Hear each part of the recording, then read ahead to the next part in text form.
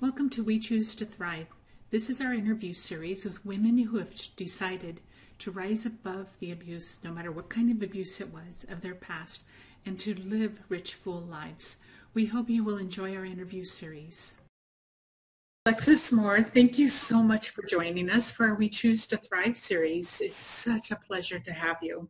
Oh, my pleasure, Becky, as always. As, as I've been singing along, if you're alive, you better choose to thrive. So I was so excited to participate. Thank you.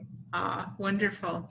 So for the for the benefit of our listeners, can you share a little bit about your story, your backstory, now, not not like in extreme detail because this is a video for the book. Yeah, that um, probably a soap opera. Yeah, too many, too many episodes. Yeah. Give us a little bit of your background of sure. what happened for you. Okay, sure. My pleasure. Uh, growing up, uh, unfortunately, I was a uh, in and out of the uh, child custody situation, so the courts are all I remember. So I had broken home syndrome thing, mom and dad fighting over custody, and um, you know who was going to do what, and it was just in and out of the court. So all I really remember from the time I was small was that sort of turmoil where my stomach would hurt so literally bad that I was worried about, you know, am I going to my dad's this weekend? Am I going to court? And my voice wasn't being heard. And I'm talking, I was as young as second grade, having teachers ask me why I was having tummy ache and that sort of thing. So I was broke, you know, broken home deal, and I totally felt unheard and um, hated the courts. And all I remember as a kid was my tap tap of my shoes hitting the, uh, you know, the court steps and all. I mean, I just remember all these memories and and so on. And then, unfortunately, too, at the house, um, I grew up in a very abusive household. There's a lot of yelling, a lot of screaming, and a lot of turmoil. So I didn't really have that safe refuge growing up. And I grew up really fast. Uh, there were instances of child molest and a lot of neglect and abuse. And all of that took its toll on me, but I never really realized how much so in, until I got into adulthood. I was 16 when I left high school and I started college right away. So I didn't fall into drugs and alcohol or anything, and thank goodness is all I say. I, I just kept my study, my focus. But uh, needless to say, it impaired my ability to cope well with relationships with people, uh, meaning I was an easy target to get bullied at school. So I had that. And then when I later became employed, which was right off, I mean, I was 15, 16, uh, working and earning a living and paying my car insurance and going to school and all these things. And I really hadn't matured. You know, I didn't understand, wow, not only was there, you know, so much more going on out there that I hadn't ever known besides the abuse and what have you, it was just a really interesting situation. So I was employed like an adult experiencing adult things but not prepared for you know harassment at the workplace which i did unfortunately endure. So i had some sexual harassment in the workplace and i chose a very unique profession. I was a female firefighter very oh. proud. Yeah i was the first woman here in my hometown and then i was really gung-ho about it but it was early 90s and i had no idea you know being the first woman and then going to work in this very uh, much male dominated profession everywhere else i was not prepared and I didn't understand that until I actually experienced some abuse in that regard. And then, um, boy, my life was devastated. I just didn't have the support system. I didn't know what to do. Uh, there wasn't the online community that there is now. Uh, so subsequently, that kind of a nutshell is my life. And then um, fire department, that didn't work out. And unfortunately, it was uh, a work comp situation, but I never spoke out about the injuries I sustained and I never got full attention for what I endured because again, there was this little person inside of me who just thought, well, that's normal. You know, these things go on. Our, our ability to understand those things is, is when we've come up in a family of abuse. It's, yeah. we don't have the self-worth and the understanding that, that those things are not the right way. That's correct. But again, we can't change time. I'm not blaming anyone or anything. Uh, that makes me the great advocate I am today and this amazing attorney and this happy ending be so powerful is if but for all these experiences. So emotional abuse and growing up in the courts and physical abuse and the um, you know child molestation and all these things that I endured, I wouldn't be this amazing human being I am now to say you can choose to thrive and you can kick ass and be very successful and really do some amazing things. But it, you have to follow your path and your journey and sometimes it sucks. You know, and in my case, it, it affected my adult life so that I chose the wrong partner and, you know, when you do these things, I made that choice to get into a relationship with someone I probably never should have been in the relationship with. And I didn't realize though how it would impact my life now and be so powerful and so amazing. At the time, I saw, you know, domestic violence and emotional abuse and was, you know, living what I considered like my childhood, but now as an adult, and that became the normal. Mm-hmm. So finally, it was so bad that I had left or tried to leave rather um, so many times like other people do. An abusive relationship, you leave and then you're stalked or you feel ashamed. You know, they're calling you and they call your relatives and they bother people and it makes you feel bad that you're trying to get rid of this problem or to solve it, not be abused. So I always returned home. Even after calling the police, you know, I had many instances where the sheriff would leave the home and then he would turn back and abuse me more. So right. Right. So rather than it be, and it's very typical, all these things happen, and it's no blaming the sheriff's office or anyone either. It's just, it wasn't easy to leave. But finally, what happened for me is I was face down on the floor, and it was, I think I hear, I killed her. I heard him actually saying those words. I think I killed her, and that's when this huge. I mean, it was just for me, face down on the floor, and I think I killed her. Somehow, some way, I got up, rose to my feet, got to the car with just my purse and my blue jog suit and got out in the car and with him literally with his head and his whole body halfway in the car. He was trying to strangle me and keep me from leaving the home but i drove away and never came back. And i mean it was there's a lot more involved but that's what it took. Literally me hearing those words though becky and for others i hope it's not ever this position. I hope you can reach out and do something besides wait to be an attempt well before that happens yeah yes. but it and took for, that yeah. yeah and for you it was it didn't end there even though you never went back it didn't end there and i no. because i know you and know your story and so you ran into that same abuser being the cyber stalker which which wreaked havoc on your life as well that's right. So I physically separated and was willing to leave back, I mean, everything. So two precious dogs, all my clothes, a home that Lot would say is so beautiful and amazing. I mean, all these things your whole life. I fled it thinking, well, I'll be damned. This is it. This is okay. I'm going to live. This is the choice I'm making. And from here going forward, I'm going to start over and I'll be free from abuse. And it wasn't maybe just two to three weeks later, I had financial devastation and it wasn't at my own doing. It was, I wasn't able to use my credit cards at the gas station. And I thought, what the hell is going on? You know, what is this uh, see cashier BS and all of that? Well, it turned out that this particular perpetrator was not committing identity theft, but it actually accessed my banking and all of that, knowing my social security number, my mother's maiden name, you know, all these things. It's, you're just doomed. And not knowing that this was a potential factor or something I would face, there was no preparing for it. I mean, I, like I say, I was on the face, you know, face down saying, okay, this person thinks he just killed me. Now I'm on the run and I wasn't prepared for what was going to happen next. And yes, now it's called cyber stalking, but back then it was just this crazy, you know, reporting something like that to law enforcement. Well, lady, they don't know anything about what that is. Yeah. Yeah. So I'm saying, hey, well, he didn't steal your money, or the perpetrator. They'd say, let me get this straight. You know, and their eyes are rolling and they're looking at me like I'm wasting their time. And in essence, I probably was. I mean, let's face it, it wasn't legislatively known. The conduct was the first of its kind. So I'm sitting there, and again, I, I, look at things now a lot more objectively. Yes, I was pissed, and I didn't feel like I was wasting their time. I wanted to but today, understanding it 13 years later, you have a much more uh, clear uh, view. Mm-hmm. And all I can say is yes. So this individual had all of my personal information and was able to pay bills in this instance ahead of time. So auto pay. And of course, I was not, you know, unlimited means. So it overdrew my account. So in that case, that's why my ATM card wouldn't work and then it so happened that he was able to cancel all of my credit cards by simply sending in a fax request with my name on it, my social security number, please close this account. And then later it was, please change this address. Well, again, it wasn't identity theft because his purpose or this predator's purpose was not financial gain. It was to control me, you know, harass, manipulate, annoy, and mm-hmm. control. You know, I had left him physically. So now I'm going to get you. And he did for quite some time. It almost took two years, but I can say that along the way, you know, I, I made a vow. I can say this 100%. I made this vow. I made it this far, and I'll be damned if I make it further, that I won't become an attorney and be able to be that advocate I so wished that I, I would have had back then. Right. I had lawyers quitting on me. Law enforcement said I was crazy. Please don't report anymore. And at the same time, I was being physically stalked.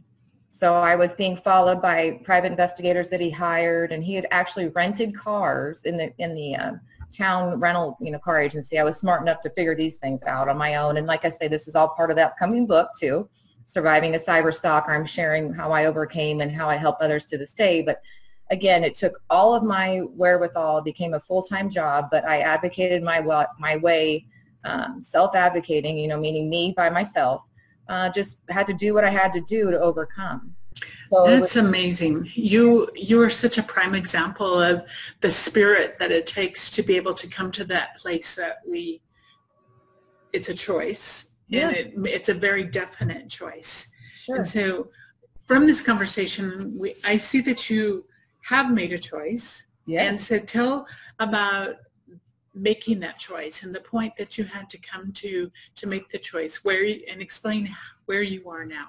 Oh yeah because it was it was you know everything wasn't peaches and roses and all these things and you know the mm-hmm. happy ending did take a lot of effort. So i hit rock bottom. It was 2006 and these episodes began in 2004 so i remember it clearly. Uh, my grandmother was my advocate and um, god bless her she was really really strong and i figured hey if she's 81 and can fight back so can i but it just so happened she was dying of cancer now. And needless to say, it was January of 06 and I lost her in that following July. So mm-hmm. I knew time was coming near and she had hospice care. Now she was homebound and everything else. It was a real just devastating time. I couldn't get any help. So my lawyers quit on me. I was literally going to court getting laughed at, but for the fact I had confidence and courage and could stand there, you know, it just over and over, I wasn't getting anywhere. Um, you know, I was without funds except for the money I borrowed from my grandmother and I paid her back. And it was just, like I say, it was just so much going on. I literally just gave up. I lost my job because I was stalked in the workplace and the employer doesn't want that, you know, and I, I understand their, at the time, I am like, what in the heck, you know, but needless to say, there's laws and protections today that didn't exist back then but I had everything go wrong. You know, I had no ability to get a job. I had all my bank accounts and credit and everything going down the tubes. And this last ditch effort to get to January of 06, I had paid in cash advance, just all my all cash money so that the landlord wouldn't run my credit to, you know, have a safety net so I wouldn't have it on my credit report for this predator to access where I was moving to. So I thought I was pretty shrewd and I was going to maybe get a few months of time, you know, some peace or what have you, and just kind of square things away. But it didn't, it wasn't the case. There, I was found almost immediately, and I'd paid to live in this dump, you know, and the heat didn't work. I was freezing my tail off. I was literally sleeping in a stocking cap, and I could see my breath. And I am telling you, it was such a miserable life. And my grandma was dying. I mean, I had just hit that point where I said, "What in the hell?" And I yeah. think it was, you know, I left the district attorney's office, and I believe that drive to my house, I kind of said, you know what, I can't take this anymore. And I was kind of running the circle through my mind. Mm-hmm. And so that's when I decided to take my own life. I, I literally believe it was just this, you know, you're just playing the same record and you're saying to yourself, I just don't want to keep going. I don't want to. Right. I get that yeah, many, so, of, many of us can relate to that. Yeah, and um, I smile because thank God I had a tenacious friend at the time, and it was a business acquaintance who I just shared a little bit of my story with, saying, "Gosh, I'm experiencing the stalking and the cyber abuse," and I didn't call it then. It was I'm being stalked electronically, and of course, again, who the hell wants to hear these stories? But he felt there was something off. He tried to call me, and it was maybe I don't know nine o'clock at night and it was raining and he easily could have just like he was saying i had this thing inside of me that says i'm going to go over to your home and see what's going on but he wanted to roll back in bed like we all do like oh you know i don't know her very well and this is crazy. But then again you know we all have angels we all believe in something or if you don't you know just in my world i do. And it just so happens that i'm sitting there with this bottle of vodka and i've got these pills and i'm about to do what i think is make my life so much better and just end this mm-hmm. and this person was relentless they would not go away and I mean, I cursed at this person. I said, get the hell out of here. You know, I don't want you here. And uh, boy, I'll tell you what got me those when he's taking the screen door off my uh, bedroom window and saying, I'm coming in with or without you or your help or whatever. And I said, oh boy, I'll let you in. So I let him in. and um, it wasn't anything that he said or did, Becky. And for those out there that are potentially going to save someone's life from suicide, it was just the fact this human being he sat, was there. He was there. And he sat next to me for maybe 20 minutes. And I got to the point where we were laughing so hard. And it was me laughing at myself saying, all this, all this in your life to end it for this. And I literally said, what in the hell am I doing? And that's, we just started laughing. And this person I don't think was laughing per se, but it was a way I have kind of a comedic side that uh, my clients can tell. I just do. I've made light of a lot of things and I like to joke and dance around. So I'm sitting there on the couch and I said, well, what the hell am I going to let this, this is going to be my dying day in this dump apartment that smells like cigarette smoke with my breath, you know, it's so cold we can see our breath. This is not how I'm going to go out. I'm going to go out in style. And it was just kind of one of these, I'll be damned moments. And so the bottle was pushed aside, the pills, and um, at just at that moment, I said, you know what? Here I am, and I'm going to fight. I want to get back in the game and um, fight for my life, and I did. So I had vowed to become an attorney back in November of 04. I had a dreadful experience with a lawyer. Gave her $10,000. You know, she knew I was a domestic violence victim. Well, rather than her calling me, the paralegal did. At the, I'm talking 5:30 at night before a hearing to say, "We're sorry, but so and so can't represent you. She has a young child and she's in fear for her life." But she knew all along I was a domestic abuse victim. I mean, I'm beat up. It's hard to hide these injuries and it's hard to hide the circumstance. And anyhow, I just made a vow. So from that moment forward, I was going to become an attorney. I didn't know how. I didn't know if it was possible. How or when or where yeah. or what. or how or, you know, if, if, all this was just okay, okay, I hope so. But meanwhile, um, that was the vow I made so that the January 06 just kind of reaffirmed that, you know, you've got something more to do here mm-hmm. and it's on your plate. There's more to life than this. That's right. And you can choose to thrive. And I'll be damned I did. I mean, it was cold as hell. I hated this place I was in, but it taught me today to be so grateful for food in my refrigerator, for a heater that works and for these things. And I, I literally believe if I didn't have all of those experiences leading up to this moment, I wouldn't understand anything. I wouldn't be the advocate I am. I wouldn't be the human being I am. So I'm grateful. And that's a huge part of it and wanting to thrive. So my mm-hmm. life was, I want to live. And I feel that way today. You know, we have ups and downs. We have triggers. We know, you know, as survivors, there's always something. But you do have a choice. We do. So what would you say to somebody that's just starting, that's gone through much of what you went through or even pieces of what you went through? Sure. Who just realizes, boy, I'm not happy, I'm not living life full. And they're starting to wake up to the fact that they need, there's action that needs to be taken on their own part to, yeah. to stand, to not stand in their story, but on their story. That's what would you say to them? I would say first off, hands down, don't compare yourself to anyone. Because I have this happen all the time. Someone says, well, Alexis, I don't know if I can do what you did. Well, you know what? You're not me. So we're going to, your journey is your own. And when someone comes to me and they are looking for this sort of advice, the first thing I say is stop the presses, figure out what matters to you most. And if it's family relationships that matter to you or your friends or your job, there's got to be something that matters and focus in on that. And if there's weak links, you're only as strong as your weakest link. So in my case, I had a very weak link. It was my grandmother. She was dying of cancer. Mm-hmm. And this person knew that he was able to manipulate me by that relationship very much so. But so the irony is, even though I lost her and I am always saying how much I miss her, I knew that was a weakness. And the fact that she was gone that July only made it more powerful and, and my steps going forward even easier because I was honoring her legacy and I didn't have to worry so much. Like in other words, you're just going to see this beautiful transformation, but you have to choose mm-hmm. and you cannot compare yourself to anyone else. And it may not be pretty.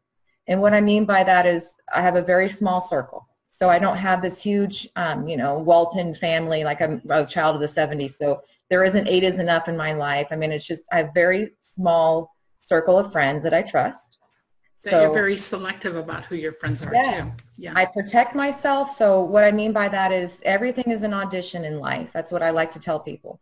When someone enters your space, they're auditioning to have a spot in your play or in your life. That's how I like to use this analogy. And if you don't like what you're seeing, that is a, a time for you to step back and say, you know what, there may be something off here. And as a survivor, we all have a, a little bit of a wall anyway, but it's real important that that inside, you know, that little bell or whistle, your gut feeling as a woman, intuition, all these things, let that work for you. And I like my analysis with this audition. Uh, much like when we first met, you didn't know me, I didn't know you you can really see a lot if you just kind of step back and let those people do and say and you let them audition and, and earn that place in your life. True. Very true. And push back and don't expect, and being, being most popular um, also is another message. Uh, you, you, you may not be successful if you are most popular. And that's something I've realized. Like the fact that I have a smaller core of, of um, individuals around me, that means I don't have anybody to please or to wait on or to dote on or to um, worry about their opinion. It's about me being successful and me achieving. And sometimes it's selfish sounding, but what it is, you're, you're, you're helping yourself so you can propel forward. Mm-hmm. And a lot of the relationships I've seen with other survivors is uh, very codependent. They're not trying to excel. They're not trying to go forward. In fact, they're looking for something to drag them down even. Where I was always looking for people by my side to either walk with me in my journey, journey or actually help me by saying, go get him Alexis or that sort of thing. Right. I've never, I've never felt good in a relationship of any kind if I'm having to help someone unless I'm a leader or employer or something. you get what I'm saying. There, so there's triggers and things, and and uh, it's a matter of paying attention to that inner core, and making your circle strong and tight. That would be my advice, and not comparing yourself to anyone. Even That's in, right. Even in law school, I was not successful. I was on academic probation. I didn't like it in school. And I can tell you, but I passed the bar the first time. And that's an accomplishment, major. It. Yes. It is. Thumbs up. I mean, California bar is very hard. And I can say this to you, but again, I wasn't so much interested in my grades in law school. The bigger picture has always been my life. And the bigger picture was passing that bar, just like it was for me to overcome the cyber abuse, you know, cyber stalking um, and the stalking. I mean, there's, you put a focus on it and you've got to just stick to it. Mm-hmm. And you can't feel sorry for yourself or you're going to be stuck back in that cycle and you won't be thriving. And that's what I say to choose to thrive. If, if it is to be, it's up to me. That's right. Yeah, Beautiful. Right. And if right. you are alive, choose to thrive. And that's been, um, mm-hmm. that's it. I mean, there's no other words just to really close your eyes and say it. Like if you're alive and you do not have just the last breath, but this is a life every day, and you haven't been given that um, that lethal diagnosis of cancer or what have you, even then you have a choice. But all I'm getting at is you have to choose to thrive. Very it is beautiful. It's choice, yeah, for sure. Wow. Very beautiful words and, and quite a message out there that and the beauty of it is the strength that you show and your drive to make sure that that you provide the kind of guidance in your law firm for those that have gone through some of the stuff that you had to go through without the help.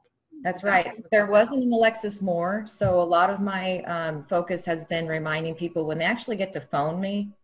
You know, I lived it, and I've been um, as a risk management consultant working with stalking and cyber abuse victims for 13 years.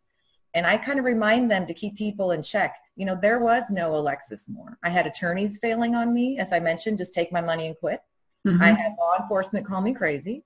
And there was no cyber stalking, cyber abuse known. I mean, we are talking nothing. And there wasn't the internet support groups like We Choose to Thrive and The Woman I Love and all these amazing We don't have, we didn't, the Alexis Moore generation, we didn't have all that. So oh, when someone, right. yeah, so when someone phones me and, and um, is in crisis or in a need, the first thing I like them to do is realize, well, you came to the right place. Now it's up to you to accept help and I can't walk the journey for you, but I can be there by your side. So that's the sort of advocate I am. I'm looking for someone that wants to help themselves, to take ownership. Just like I did, I got into an abusive relationship. I made that choice. There were signs and there were things and I overlooked those. And I haven't repeated that. Thank God. Right. And, you know, and um, all I've got to say though is there is ownership for the person too. Uh, you've got to be willing to say, I want to help myself and close your eyes and really think deeply. Do you really want to accept help and help yourself? Because it's a it's a self advocacy role that anyone has to play as much as it is me helping you. You have to also want to take ownership and help yourself. Beautiful. Yeah. Very beautiful. Thank you so much for taking the time to be with We Choose to Thrive. Thank you. And, and your message is so va- valuable and vital to the success of what we're, our attempts are right here is to, to show and to lead by example that we can choose to thrive and that life can be amazing. That's right. And yeah. you got to choose it. Yeah. So if you're watching this video and you're saying, I want to do this, you can right now choose to thrive. And so if you're experiencing cyber abuse or stalking, you got to take that first step and pick up the phone too. Because wallowing in your misery isn't going to solve the It problem. never does, does it? Okay. Thank you. Thank you for watching this We Choose to Thrive interview. If you are currently in an abusive situation, please seek help immediately. Our purpose in creating this book and video series is to form a sisterhood of support. Know that abuse is abuse no matter what kind it is. The stories in this We Choose to Thrive series are as many and varied as the people in it. If this resonates with you, we welcome you and invite you to join us. If you know someone who would benefit from hearing this interview, please feel free to share.